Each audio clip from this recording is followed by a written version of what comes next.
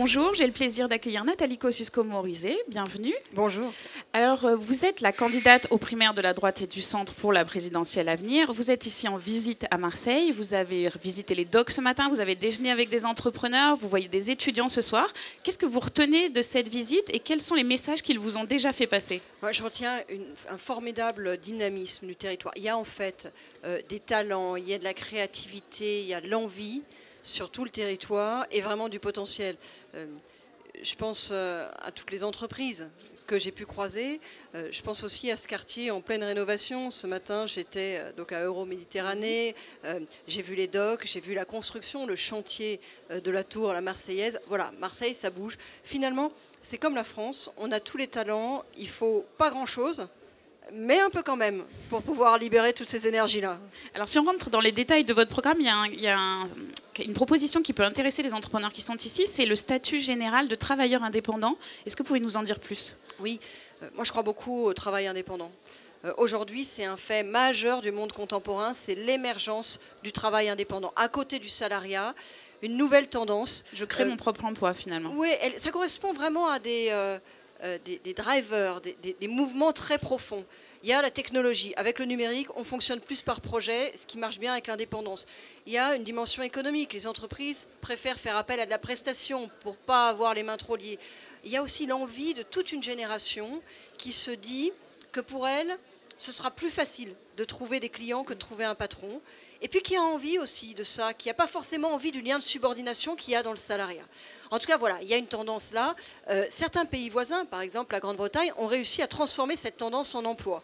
Chez nous, en France, on est encore un petit peu en retrait et il faut dire que le système porte pas facilement à l'indépendance. Aujourd'hui, quand vous êtes indépendant, c'est la galère. Vous commencez comme auto-entrepreneur, à un moment, vous atteignez le plafond de chiffre d'affaires, euh, vous vous retrouvez en entreprise euh, individuelle, peut-être que vous allez essayer le portage salarial, peut-être que vous allez essayer le CDI intérimaire. À chaque fois que vous changerez de statut, vous perdrez une partie de vos droits et à tout moment, vous paierez très cher une protection sociale qui ne vous satisfera pas. Donc je propose, moi, de créer un statut général, statut général du travailleur indépendant, qui offre un certain nombre de garanties. Par exemple, la non-requalification en contrat salarié, qui est une garantie importante vis-à-vis de la clientèle, euh, et avec une protection sociale simplifiée, précisément avec le choix entre euh, le régime général, pour ceux qui veulent une protection un peu intégrale, ou des assurances privées, parce que je pense que quand on est indépendant, on a aussi envie de prendre son risque, ça correspond aussi à un tempérament différent, on n'a pas forcément envie d'être au régime général, mais en tout cas un système qui soit juste.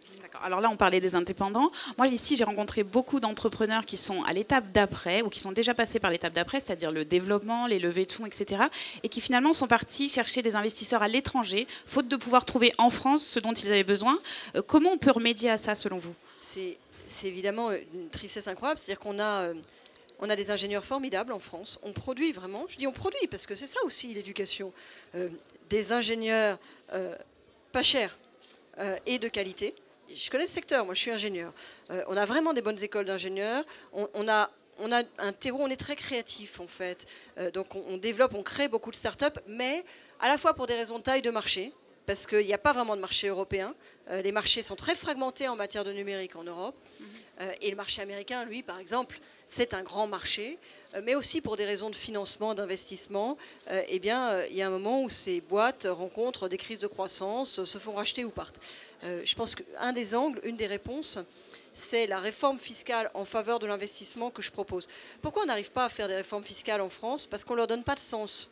Et donc, on propose des petites mesures ici, des petites mesures là, parfois d'ailleurs des choses incohérentes d'une année sur l'autre. Le, gouvernement Hollande en a été euh, une bonne illustration. Pour réussir une réforme fiscale, il faut lui donner du sens. Il faut lui donner de la cohérence. Moi, je propose une cohérence, une seule. On met tout sur l'investissement. On se donne les moyens de libérer l'investissement. Ça veut dire, euh, d'abord, de baisser les charges sur les entreprises, de baisser les charges notamment sur le travail et sur l'emploi. Ça veut dire aussi je l'assume, pas forcément de supprimer l'ISF. Tous mes concurrents à la primaire proposent de supprimer l'ISF. Moi, je ne crois pas que ce soit une bonne idée. Si on fait ça, on fera que ça. C'est trop symbolique. je propose en revanche de le transformer en incitation à l'investissement, en obligation même d'investissement euh, dans les PME, dans les entreprises qui n'ont pas les moyens, pas la possibilité de se financer euh, sur les marchés financiers. Bref, euh, mettre tout sur le signe de l'investissement sur la transmission d'entreprise aussi. Par exemple, euh, euh, sortir euh, du régime d'imposition sur les plus-values cession, les plus-values sur les startups. Il y a des choses à faire tout simplement pour redonner du sens et de l'envie au fait d'investir en France. Voilà, elle est là la clé. On a tous les talents.